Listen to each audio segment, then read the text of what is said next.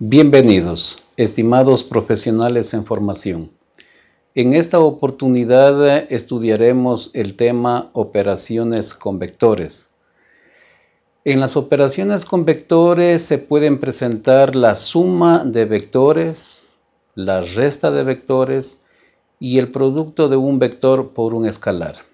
En esta oportunidad revisaremos únicamente la operación principal que se refiere a la suma de vectores. Veamos.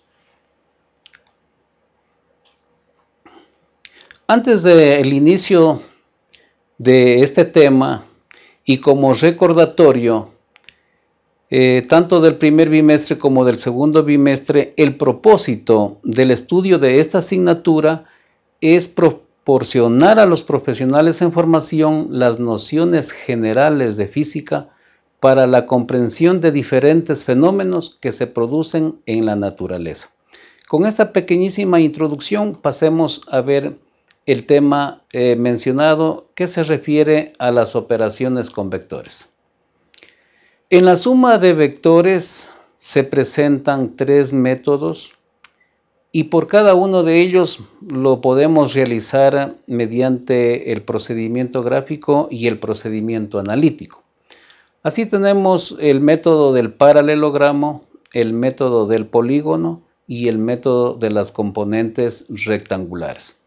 Vamos a ver eh, un ejemplo para cada uno de estos métodos, ya sea por la forma gráfica y el procedimiento analítico. En el primer ejemplo tenemos, por el método del paralelogramo, encuentre gráficamente y analíticamente la resultante y equilibrante de los siguientes vectores. ¿Cuáles son los vectores? Los vectores que intervienen en la suma, en este caso, es el vector F1 igual 30 newtons a 0 grados y el vector F2 igual 4 newtons a 150 grados. Nosotros eh, debemos precisar eh, una escala porque estamos resolviendo este problema eh, por el procedimiento gráfico. Entonces hemos considerado que aproximadamente un centímetro equivale a un newton. ¿Qué es lo que queremos sumar? Nosotros queremos sumar el vector F1 con el vector F2. Como resultado de esta suma nos va a dar el vector F. Bien, entonces procedemos de la siguiente manera. Fijamos un punto O cualquiera en el espacio. Con la, misma, con la misma escala trazamos el vector f1 y f2 manteniendo sus propias características. Y así tenemos. Ya en el gráfico se ha trazado el vector f1 igual 3 newtons y como ustedes pueden darse cuenta está a 0 grados, es decir, coincide con el eje de las x positivo. Luego hemos trazado el vector f2 igual 4 newtons y con un graduador previamente desde el eje de las X positivo, hemos medido el ángulo de 150 grados y en esa dirección entonces está la línea de acción del vector F2 igual 4 newtons. Como estamos desarrollando la suma por el método del paralelogramo, eh, procedemos a completar el paralelogramo, esto es, desde el extremo del vector F1 trazamos una paralela al vector f2. Y desde el extremo del vector f2 trazamos una paralela al vector f1. De esta manera se completa el paralelogramo y la diagonal del paralelogramo, aquella que sale desde el origen, viene a ser el vector resultante, que en este caso lo estamos llamando el vector f. Con la misma escala con que se trazaron los vectores f1 y f2 procedemos a, determinar la medida o módulo y nos da aproximadamente 2 newtons y con un graduador hemos medido la dirección que tenemos 103 grados. 103 o 102 grados aproximadamente. Vamos a ver más adelante que al trabajar por el procedimiento analítico las respuestas son más precisas. Bien, pero también nos dice que encontremos la equilibrante. Entonces, como pueden darse cuenta ustedes en el gráfico, ahí está la equilibrante simbolizada con la letra E, que tiene la misma magnitud del vector F, que es el vector resultante. Tiene la misma dirección, únicamente tiene sentido contrario. Es decir, si sumamos el vector resultante con la equilibrante, podemos darnos cuenta que eh, el resultado sería cero, porque se, anulan estos dos valores, se están equilibrando estas dos fuerzas. Ahora pasemos a ver por el procedimiento analítico. Para encontrar la magnitud del vector f utilizamos la ley de los cosenos. Y para encontrar la dirección del vector f, que es el vector resultante, en cambio aplicamos la ley de los senos. Ustedes conocen muy bien el enunciado de la ley de los cosenos y el enunciado de la ley de los senos. Entonces, en todo triángulo, la ley de los cosenos, en todo triángulo, el cuadrado de uno de sus lados es igual a la suma de los cuadrados de los otros dos lados, menos el doble producto de dichos lados por el coseno del ángulo que forman esos dos lados. Ustedes se pueden dar cuenta que en este caso no estamos utilizando el signo menos, yo estoy utilizando el signo más. Pero eso significa entonces que tenemos que utilizar el, ángulo que, que hace falta para completar los 180 grados. Es decir, eh, estaríamos nosotros eh, utilizando eh, de 30 grados para 180 grados nos estaría haciendo falta o una diferencia habría de 150 grados, pero en este caso porque utilizo el signo más. Al reemplazar letras por sus valores, Acuérdense que el problema es encontrar el valor del vector f, que es el vector resultante, y mm, al realizar las respectivas operaciones tenemos un valor de 2,03 newtons. Si comparamos con la respuesta gráfica tuvimos 2 newtons, entonces hemos estado cometiendo un error de 0.3, 0.3, ¿no es cierto? O sea, 3 centésimas de newton, que en definitiva es mínima la diferencia.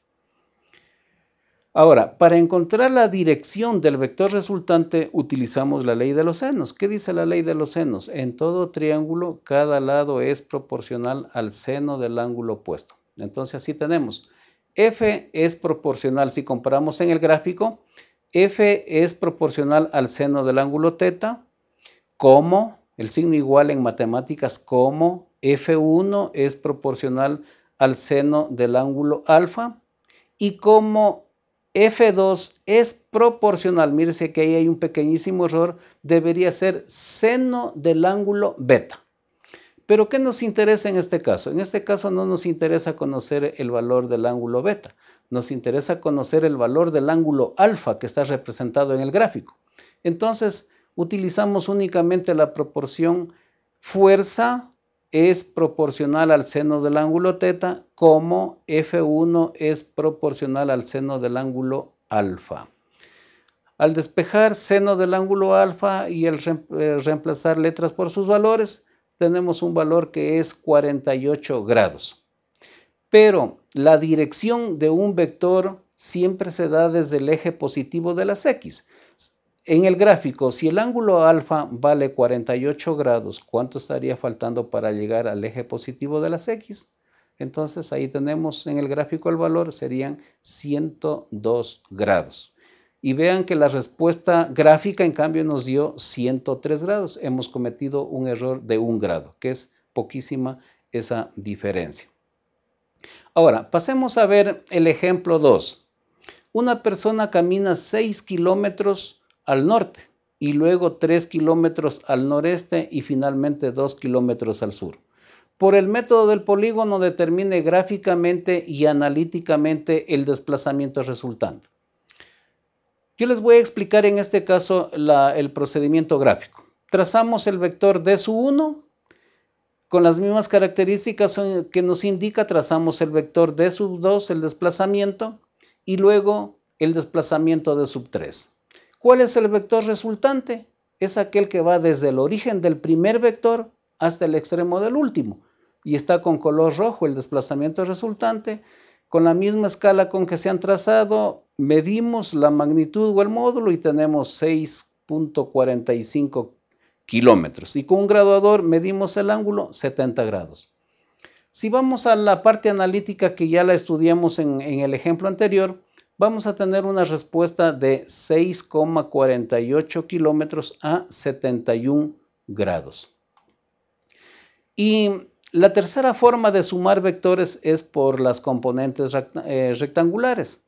Entonces, mire, ahí tenemos un ejemplo que dice determine gráficamente y analíticamente las componentes rectangulares de los vectores F1 y F2. Tenemos ahí un ejemplo, cómo determinar las componentes rectangulares en forma gráfica, en forma analítica. Y con esto sí, entonces podemos ya ver el ejemplo número 3.